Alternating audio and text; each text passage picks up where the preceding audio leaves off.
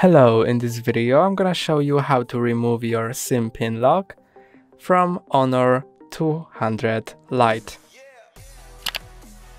First, go to Settings, then go to Security and Privacy and scroll down to More Security and Privacy.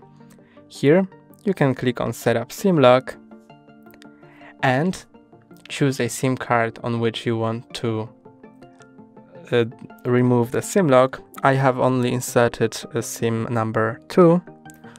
So just click on this switch and now you need to enter your SIM. Mm, so if you remember it, enter it. And if you don't remember it, you'll need to uh, change your SIM using your uh, SIM pin using your PUK code. But I've done it correctly and that's all for today. Don't forget to like and subscribe. See you next time.